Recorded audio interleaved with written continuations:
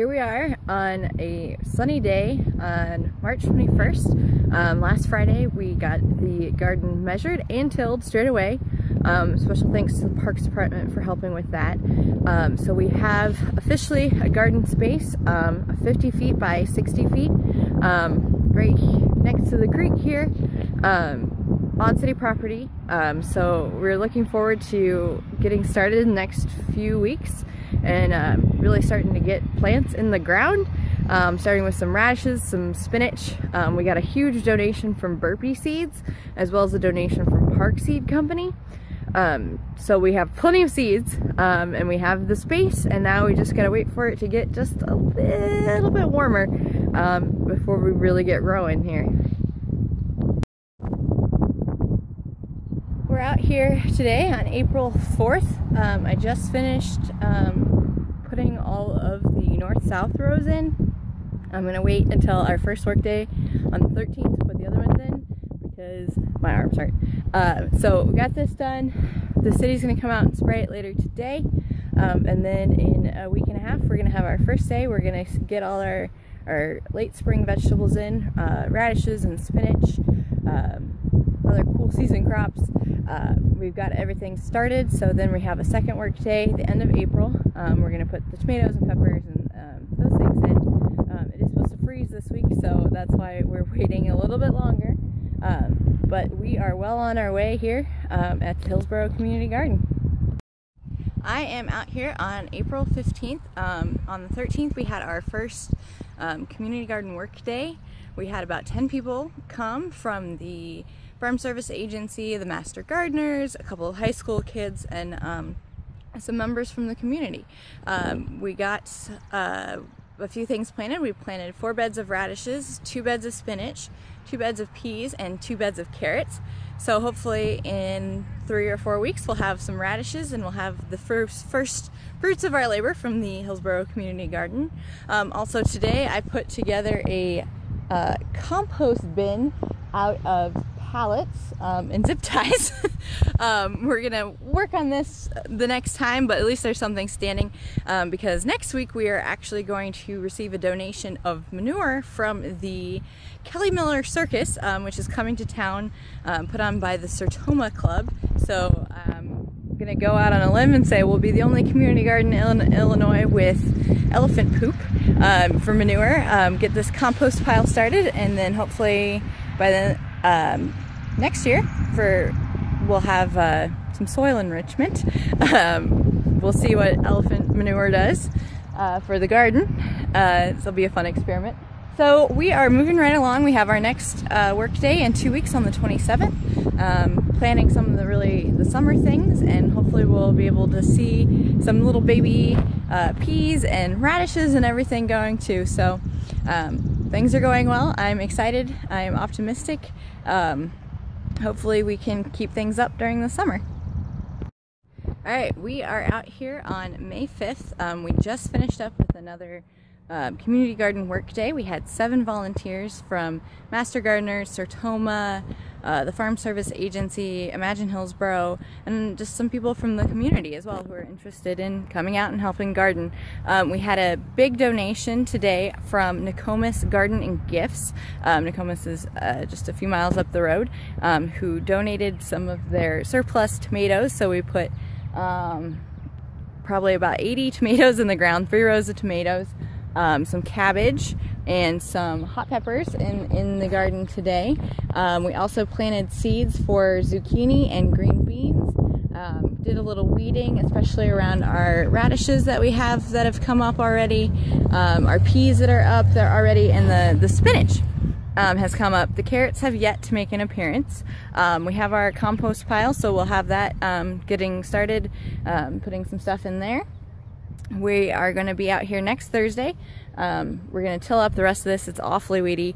Um, till up these rows, put some sweet corn in, some watermelons, um, see if we have some radishes. There might be some radishes by then. Uh, kind of depends on the weather. So hopefully it'll rain tonight, give these new baby plants a good soak, and uh, we will see what happens the rest of the summer. But uh, right now, it looks like we're going to have a lot of tomatoes.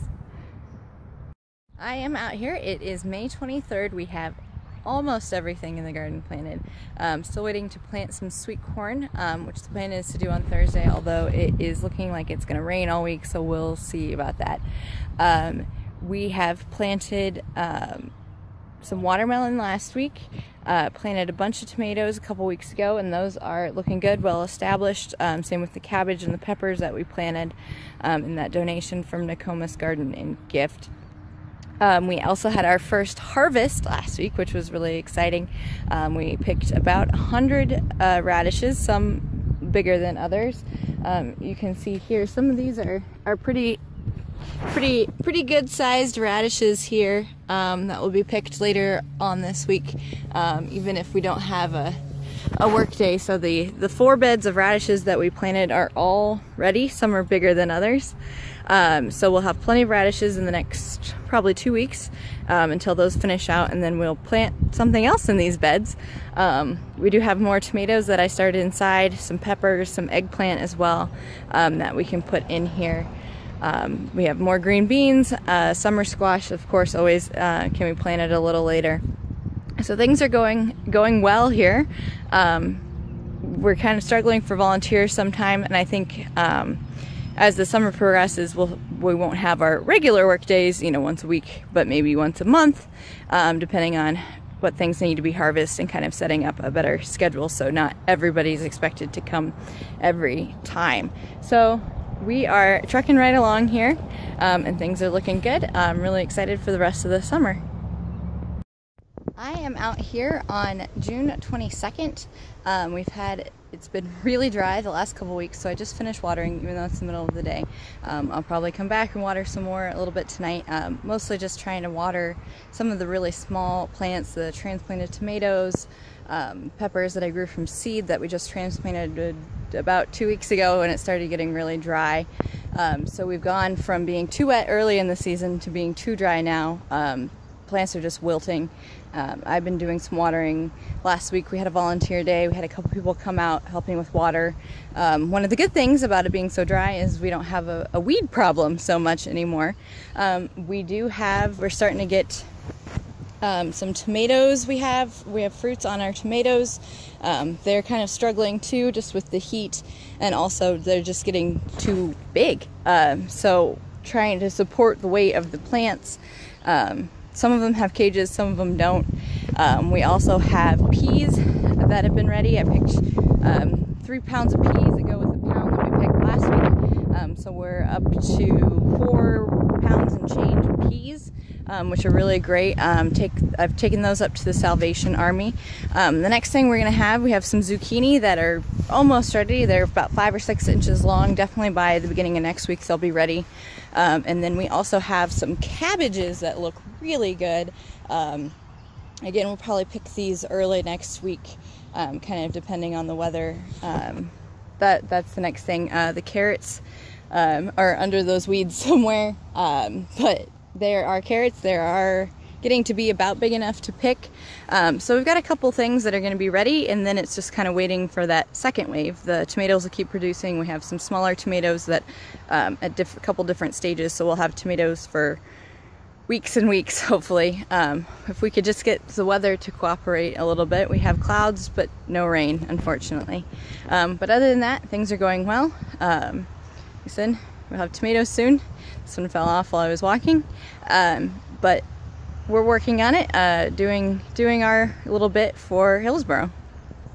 Hello again, it is August 10th. Um, we had a big month in July. Um, hopefully we'll have another big month in August as we kind of start transitioning out of some of our summer crops, our tomatoes, our zucchini, squash, cucumbers, green beans into some of our fall crops. Um, hoping in the next uh, week or so to get some of those um, planted, especially the beets and the chard that's going to take a little bit longer. Also hoping to plant some lettuce and some spinach. Um, it's been a, like I said, July was a great month. We harvested uh, nearly three or over 300 pounds of produce, mostly tomatoes, green beans, um, cucumbers, zucchini, summer squash, and uh, a few other things, carrots, eggplant are along the way. Um, we are um, continuing, kind of starting to wind down a little bit with uh, tomatoes, um, but actually this week was exciting. We had our, our first tomatoes from tomatoes that I started from seed. Um, these little yellow ones, they're not very big, but they're delicious, uh, trust me. Um, and kind of starting to wind down to some of the ones that we planted early. Um, but it picked lots and lots and lots of tomatoes in the last uh, couple of weeks. Um, also, the cucumbers have done really well. Last Friday, I picked nearly 30 pounds of cucumbers in one day, uh, which is pretty good for just um, the small, uh, usually about four inch uh, pickling cucumbers. Um, it's not all all sunshine and, and ripe tomatoes, unfortunately. Um, it has been raining more this month, which is good for the plants and makes things certainly a lot easier, but also the weeds love it. So we've been kind of fighting this battle with the weeds. Um, last week took a couple of days, a couple of volunteers, and really cleaned out the watermelon and harvested our first watermelon last week, which was really exciting.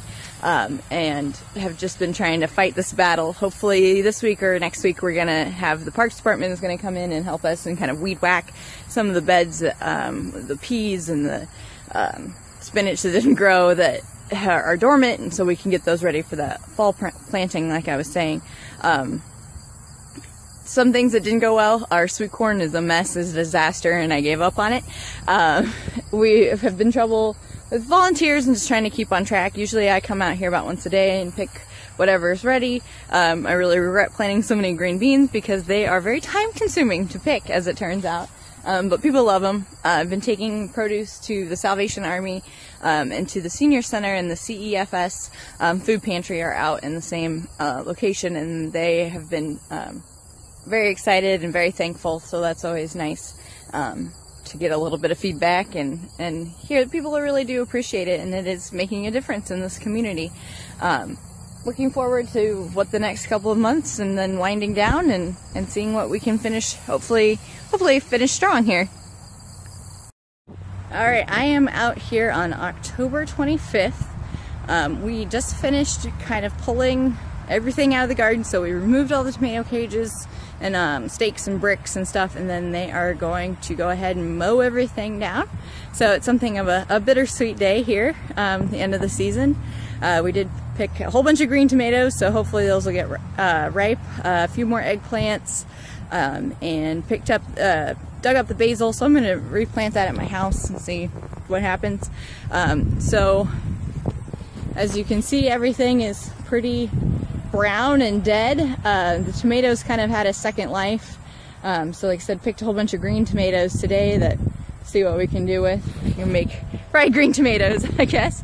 Um, but it's been a great season. We ended up with uh, more than 700 pounds of produce donated to um, local food aid agencies, including the Salvation Army, the CEFS uh, Food Pantry, and the Senior Center, and the summer lunch program at the Hillsboro Area Hospital. So it was a successful season. Uh, learned a few things, uh, picked up a few things along the way, um, and really looking forward to kind of um, hoping for next year. Um, trying to find somebody to take over. Um, I think there's a lot of interest. So just kind of moving forward and looking forward to next year as it starts to get colder here in Hillsboro.